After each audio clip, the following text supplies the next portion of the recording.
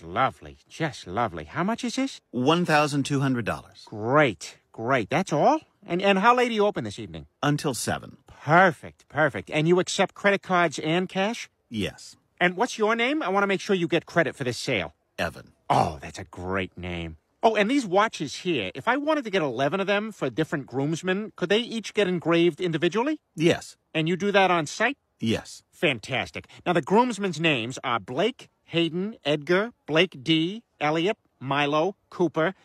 Why aren't you writing any of these down? You're wearing Sbarro wrappers for shoes, sir. There may have been a trade.